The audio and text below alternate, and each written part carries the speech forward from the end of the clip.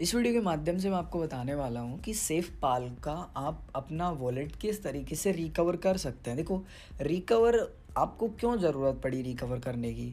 पहला तो आपका या तो आपने मोबाइल चेंज किया है, यानी कि पुराने मोबाइल से नए मोबाइल पे गए या नई से पुराने पे, या फिर आपने रीसेट किया या फिर गलती से अनइंस्टॉल कर दिया तीन चार ये कंडीशन हो सकती है।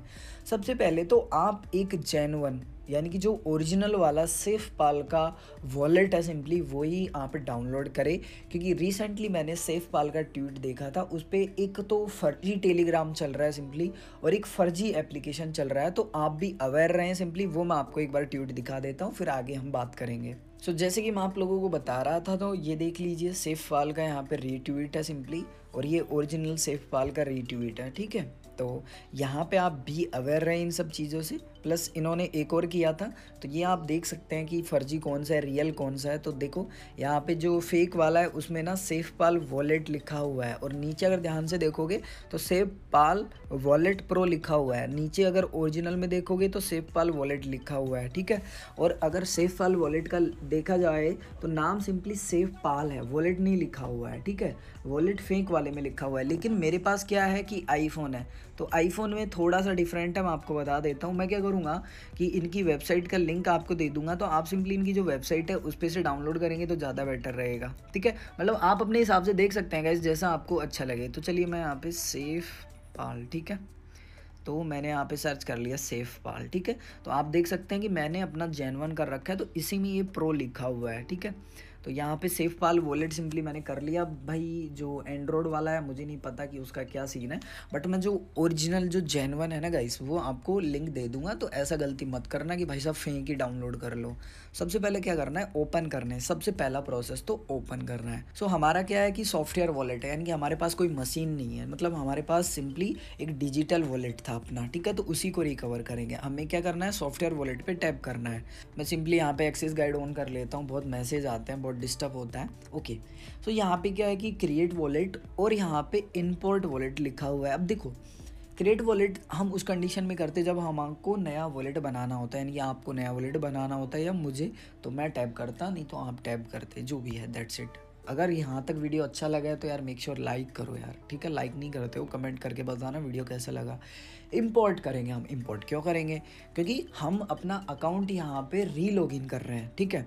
तो यहाँ पे मैं क्या करूँगा इम्पोर्ट पे क्लिक किया। अगर आपकी ये इतने सारे नीचे ऑप्शन नहीं आ रहे ना गाइस तो आप यहाँ पे इम्पोर्ट पे एक बार क्लिक कर लेना।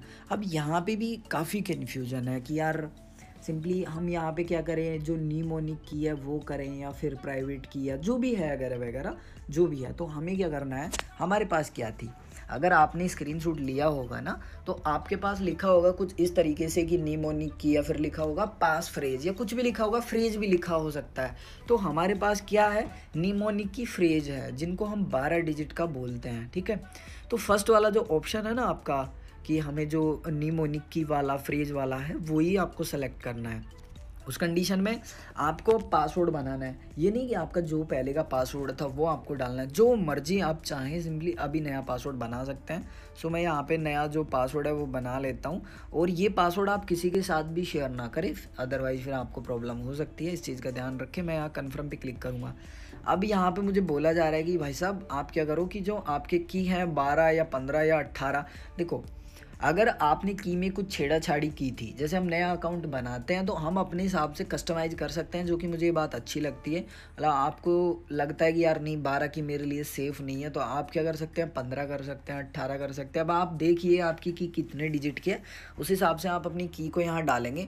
जो भी वॉलेट का नाम रखना चाहते हैं, वो सिंपली यहाँ डालेंगे। उसके बाद में आपको यहाँ पर इम्पोर्ट वॉलेट पर क्लिक करना है। अब ये सारा प्रोसेस आप करेंगे, क्योंकि मैं क्या कर रहा हूँ कि यहाँ पे अपना ओरिजिनल अकाउंट सिंपली इंपोर्ट करूँगा तो मैं यहाँ का प्रोसेस कुछ भी नहीं दिखाऊँगा। सिर्फ़ अपना की लिखूँगा। देखो, अगर आप ऐसे कुछ भी की लिख रहे हो ना, देखो, एक की मैं आपको लिख के बता देता हूँ, सिर्फ़ एक लिख के बता देता हूँ। एक की इसने ऑटोमेटिक लिख दिया, ठीक है? कुछ ऑटोमेटिकली डिटेक्ट कर लेता है कि बंदे का क्या की हो सकता है। ऑटोमेटिकली लिखा आ जाएगा, आप दो तीन मीनिंग लिखोगे तो ऑटोमेटिक लिख देगा। सो मैंने यहाँ पे अपनी जो डिटेल थी, वो डाल दिया मैंने सोचा कि चलो ठीक है, इसको मैं ब्लर कर दूँगा एडिटिंग में। सो सिंपली मैंने आपने डिटेल भर दिया, मैंने अपनी की भर दिया। आप चाहें तो स्कैन भी कर सकते हैं इस स्कैन वाले लोगों पे क्लिक करके। बट मैंने सब कुछ देख लिया कि मेरी सारी चीज़ें ठीक है, मैंने अपना नाम भी डाल दिया है। अब मुझे क्या करना है इम्पोर्ट वॉलेट पे क्लिक करना है। जस्ट मुझे एक बार टैप करना था। बस, ठीक है? आपके पास जो भी होल्डिंग होगी ना, वो ऑटोमेटिकली आपको दिखाई देगी। जैसे मेरे पास यहाँ बीएनबी आ गया।